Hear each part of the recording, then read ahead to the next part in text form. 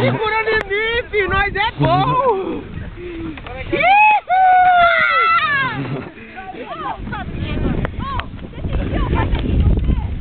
Eu vou carregar agora, só. Não, Gera, não pode ir.